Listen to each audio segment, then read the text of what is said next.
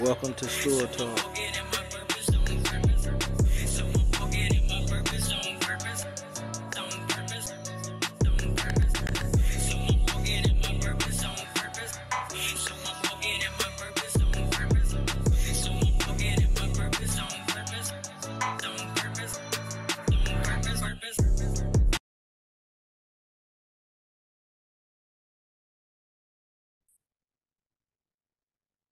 So today with us on Store Talk, we have a special guest, special special guest. This is a um, a real good friend. Uh, grew up with her, um, seeing her growth, uh, seeing her family's growth. Her family means a lot to me because so many of them imparted to me. Um, when you speak about legacy, you speak about her family's name. Um, she's a dancer, a model, instructor, a performer. Um, just just an amazing woman that have helped um, develop, train, and cultivate so many young kids today. And um, people like her need to be spotlighted, need to be motivated um, to be able to just continue to keep on because um, she's humble. Like she don't do a lot of things just for the people to see it. You see her effort. You see her quality of work, winning awards, or the type of shows that her teams put on. We have with us Miss Tanisha Shelmon. How you doing? Good. Hi. Thank you. First of all, thank you so much for that introduction. That was so yeah. kind of you. yeah. And it's uh it's, it's real just because like I, I seen the work you and your, your family have put into this and seeing you know that it's consistent and it's going on and on and, and you you're helping to grow um, young kids and to help develop them to see it from a different point of view and, and you're you just consistent with it so how you doing today I'm doing really good. I'm doing well, enjoying the sun. yeah. So how did this um dance and performing and all this, how did this start in the Shelmon family? Right. Okay. So for starters, my mom, she's got four kids. Um, and I'm her last kid. So she herself is a dancer. She, when she was younger, she used to do things at her church locally. She used to have young groups where they would minister through acting and singing and dancing. Um, and she's always had a love for dance. Um, but she actually had to have four kids. It was not until me that she had the child that was obsessed with dance. So yeah. um, I got a brother who's a DJ, a sister who's a supermodel, a sister who's a nurse. Um, I'm very proud of my family. But when I was little, I knew um, that I wanted to dance. I just used to put my hands up in like this oval shape and I would just like twirl around um, and I would just always be dancing. So I can't even say I remember when or where the the desire for it started or came from, but I just know that I always wanted to dance. So my mother right away she was like, "Okay, I'm going to put you in ballet classes." So she got me into a studio called Toledo Ballet, which they're still around now, and I just started taking ballet and I was maybe about 8 or 9 years old and I took ballet like two or three times a week and I did the nutcrackers and all of that. And then one day when I was a little bit older, she had some friends from our church and she took me to a recital. And at this recital, they were doing not just ballet, they were doing hip hop and tap and jazz and stuff that I had never seen. And when I tell you, like, I was mind blown, like, I was, I went home and I was, she, I wasn't even in the recital. We went to support our friends. I made her buy the DVD so she bought the DVD. I studied the DVD. I used to tap dance and I would literally look at their feet and rewind it. And I would be like, they did this. And I would copy them. I was obsessed. And I was like, Mom, you got to take me to that studio. Like, I have to do all styles of dance. So lo and behold, she took me there. I ended up joining the studio, which was called Daryl Jarvis.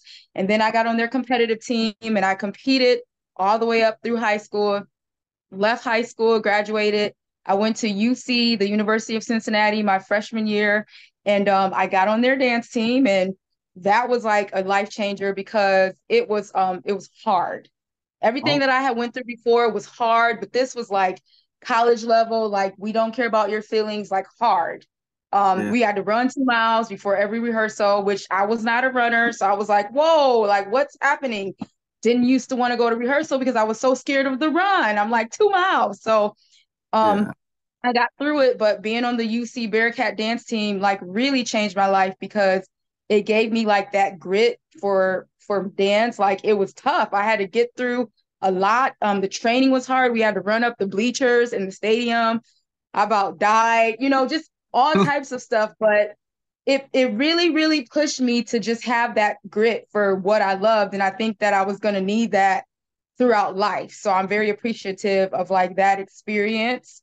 Um, from there, I did that for a whole year, and then I ended up moving back home, and I got on the Detroit Shock, which is in Detroit. It was their WNBA basketball team, which doesn't even exist anymore. But back then, they had this co-ed dance team, and it was like kids from ages eight to like 20. So at the time, I I was a freshman going into my sophomore year of college and I auditioned, I made it, which that was amazing, but I was lightly embarrassed because I was dancing alongside of like little kids as well as like teenagers and those little kids were so talented.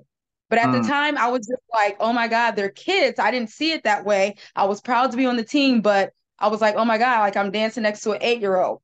They were talented. That team, that experience taught me a lot about the public, we used to have to sign autographs, make balloon animals, all this stuff where I was like, okay, like I'm a dancer, but I, I get okay, I see it. Like, so being on the shock, I would see the NBA, I would see the piston girl dancers.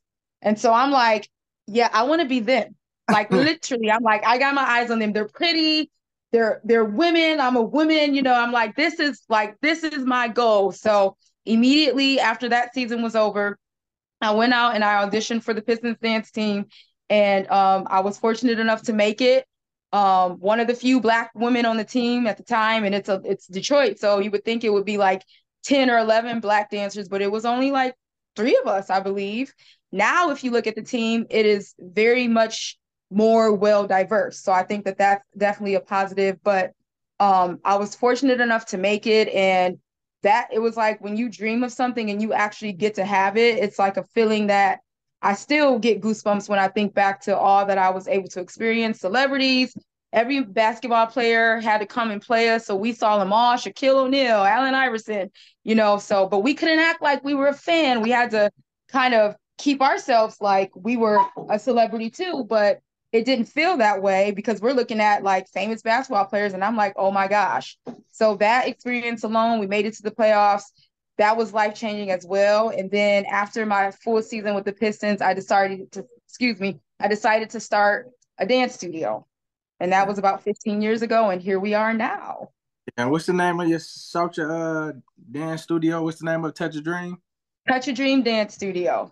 How did you come up with that name and where did that name surface from? Right. So me and my mom, it's our business together. And I remember when we start discussing actually doing it, um, and we were like, well, we need a, a name for our studio. And I'm like, okay, so I can name it my name. I can, you know, I was like, maybe Tanisha Shelmon Studio or Shelmon Studio or, you know, something related to our family. But I remember thinking like, I really want everyone that comes to be able to have their own identity so. I didn't really want to call it like the Shelmon Studio because people will graduate from my studio as they have. And I wanted them to feel like it wasn't just about me trying to make a name for myself, but giving them something that they felt like they could really attach themselves to. And because it was a dream of ours, I felt like I was touching a dream. So that's really where the name came from. Uh, Love it. Have you ever um taught some people, kid who went through with you, and you now you're teaching their sons or daughters? Has that ever oh, happened? Yes, and now you are showing my age. yes, I actually have. Um, I know at least two students right now that I taught their mothers. Like I was their mother's teacher, and I'm like, good God! And now they have daughters, and one of their daughters, her name is Phoenix. Her mom's name is Deborah Rayford she was a company dancer of mine years ago, and now her daughter, her daughter is is so talented. She's a little fireball. She's in company. This is like her third or fourth year in company. And then um, another girl, Tiffany, her little daughter Aria dances with us. So, yeah. How do you um balance your responsibilities as a dance instructor, running a dance team, multiple teams? What strategies you use to manage the time to make sure it's effective for all of them to get the same type of um, work that they need? That's a really good question. Um, I always look at it like, well, I have a daughter now that that's 10. She dances every day. She competes. I have a four year old.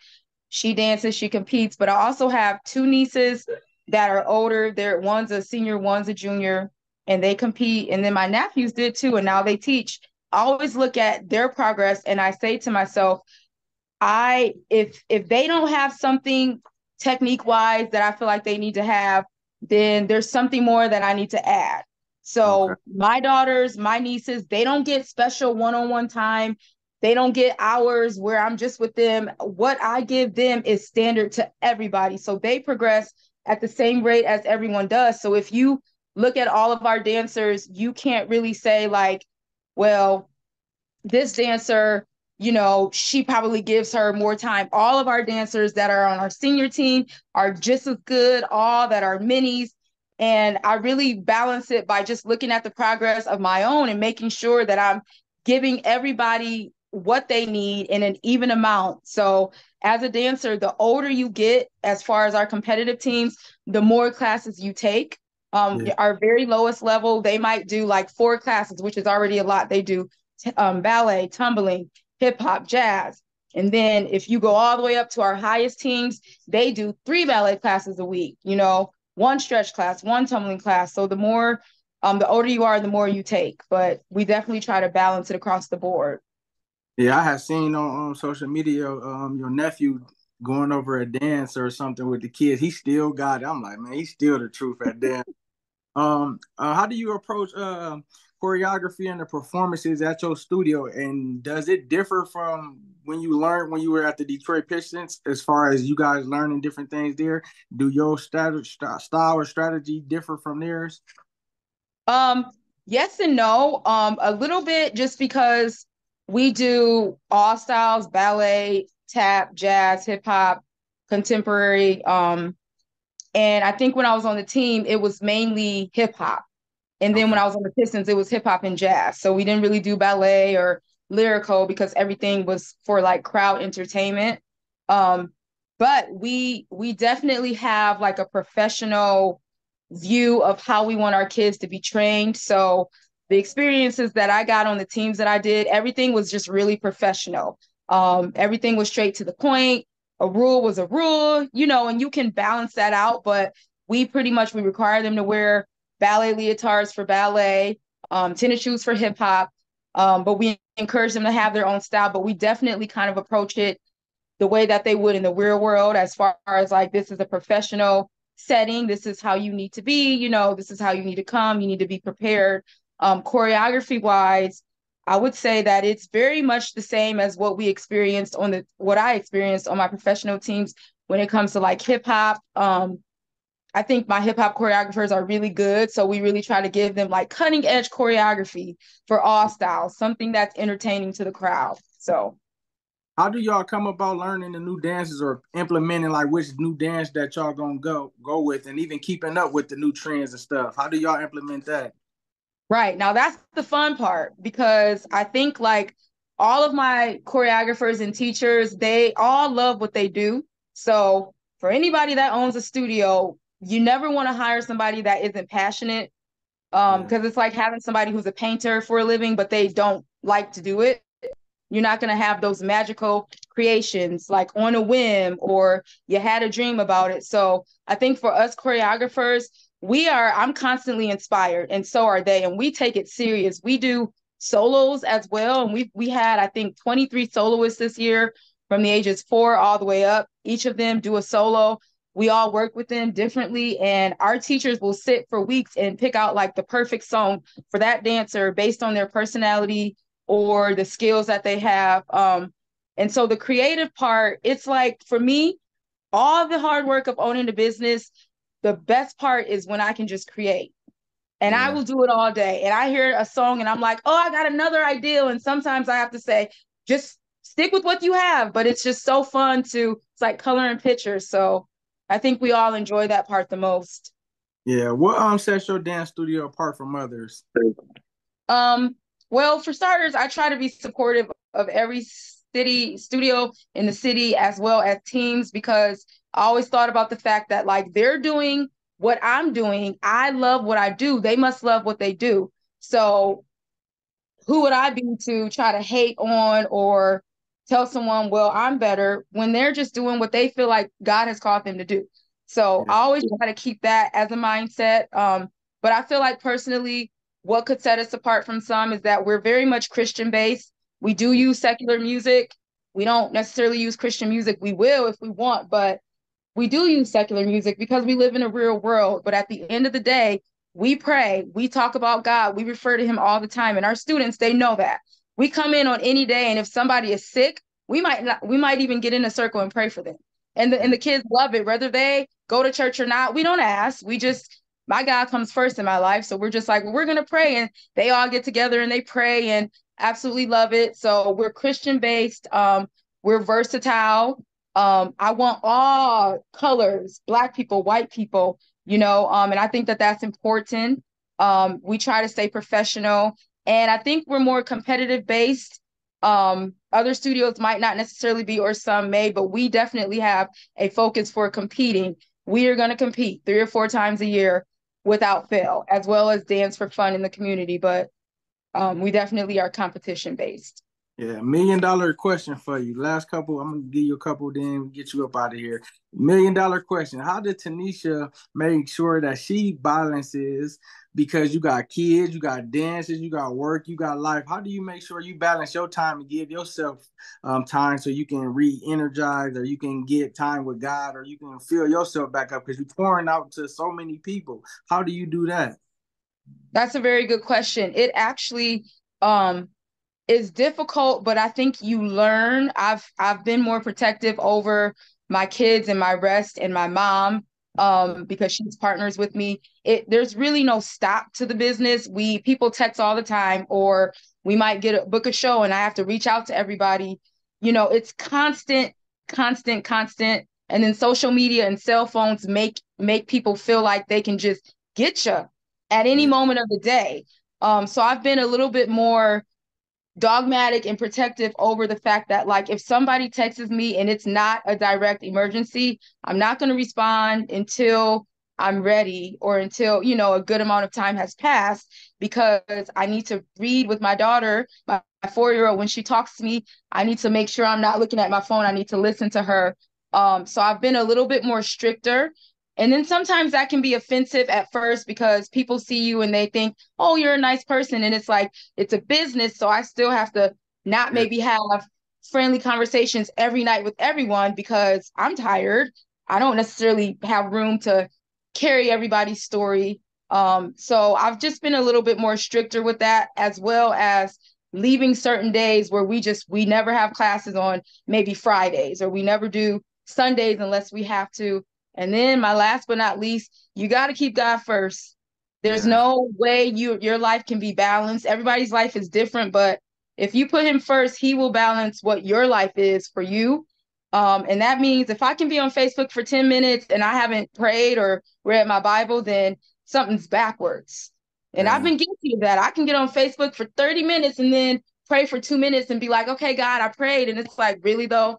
So yeah. I'm really working on giving him that time, not me doing hair and praying, but me doing nothing and giving him that alone time. And he just, he will bless your world when you do that. He will make it all work. Yeah. Love yeah. I love, um, how do you um be able to help kids when they're um, growing up, they're trying to find out where they go to school. So different people live certain lives to help them with their identity, to help them to know who they were, um, gifted and uniquely made by God and to let them know that they are somebody for they can be confident in themselves and they don't have to go to other outlets looking for um, a person to give them motivation to give them encouragement. How do you help your girls um, remain settled? Um, I think the most important thing that I do to try to help that is um, I celebrate them. I've got curly hair, long hair, skinny, lighter skin, fair skin, thicker girls, and we celebrate them all. And I love that because you can just see them just emote and who they are, who God made them to be. You know, as women, we some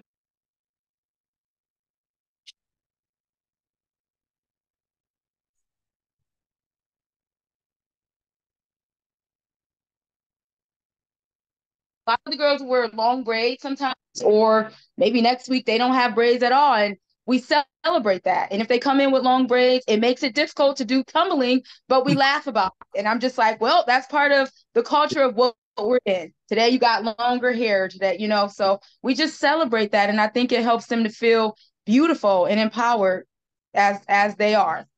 So. Yeah. Do do their different styles, characteristic traits? Do they do that goes into like the different dances you might have for the individuals? Like their um their personality styles or like their yeah, like their personality, like you, you were describing their characteristics and you're describing their personality. So do you might like, hey, I got this dance, but it'll fit her because her skill set or her personality. Do you do that? Oh, definitely. With with not so much group dances. With group dances, I think as a whole, they just we we attack every style. So even if maybe we're doing a hip hop and that wasn't your favorite, we make everybody attack every style because it makes them versatile. But when we do solos, we let them decide whether they want to do like a hip hop or like a jazz. Once they pick, we go to figuring out this would work for her because she's very saucy or yeah. she got a lot of raw swag. Like let's give her this this music. So that's definitely something that we do. Yeah. Well, we appreciate you stopping to take this time. Shout out to Mr. and Mrs. Shelmon, Kia Ramon, man, y'all used to be putting on these plays and stuff like you know how Wild 'N Out got the improv. That was y'all back in the day, like for real. Like the sketching, the acting at an early age, like y'all used to, man. When I thought about this interview, I'm thinking of all of that stuff just coming up. I remember performances, I remember talent shows, your oh. cousins and coming to being a part of it, man. So y'all really you got, are you got a great memory yeah, y'all really are pillars in the community, man. So I really appreciate that. And even though I was in Georgia, I still was sending your uh, Uncle K down work. Like people need that stuff. I'm Thank sending you. them like you know, cause cause y'all family, y'all, y'all do a lot. So absolutely. Know. Yeah, yeah, we we go way back. Like all that's why when you reached out to me, I was like, oh, no doubt. Like I don't care what's going on, we gonna make something happen. So because we hey we celebrated you when you was at the pictures our Pistons. I remember your picture in the blade all over. It's like, yeah, you made it, you know. So we really appreciate keep doing your thing. Tell everybody Thank how they you. your dance studio. You say, say that one more time. It cut out a little bit. Oh, tell everybody how they can follow you in your dance studio. All right, we got an Instagram page and it's just Touch a Dream. You can find us there. We got a Facebook page where it's just the fan page, but then we got a normal Facebook page so that you can actually comment and talk to us. You can inbox me, you can text me. Our website is under construction. It's easy to find us. If you plug in Touch a Dream, you're going to find us. You can message me at any time and I will message you right back. So, yeah. Thank you. It's been great. Thank you. It's been great. Talk to you soon. Yeah.